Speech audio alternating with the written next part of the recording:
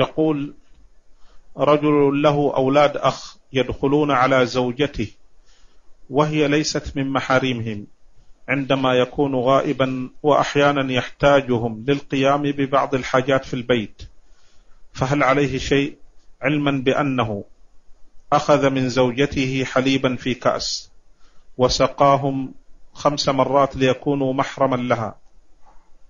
فما هذا حكم هذا العمل؟ هذا عبث. سقيهم اللبن هذا عبث ولا يحرمه الرضاع يكون في الحولين.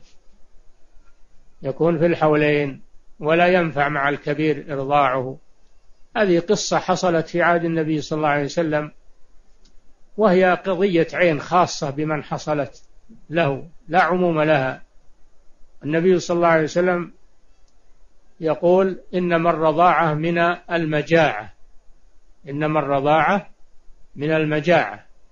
ويقول إنما يحرم من الرضاع ما فتق الأمعاء وكان قبل الفطام.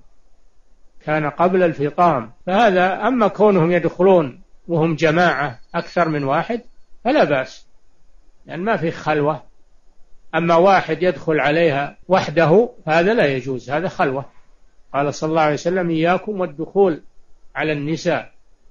قالوا يا رسول الله أرأيت الحم قال الحم الموت يعني أشد. فلا يدخل عليها رجل واحد وهي وحدها في البيت هذه خلوة. أما إذا كانوا جماعة أو كان البيت فيه نساء وجماعة أو أسرة أو عائلة فلا بأس. المهم أنه ما يكون فيه خلوة.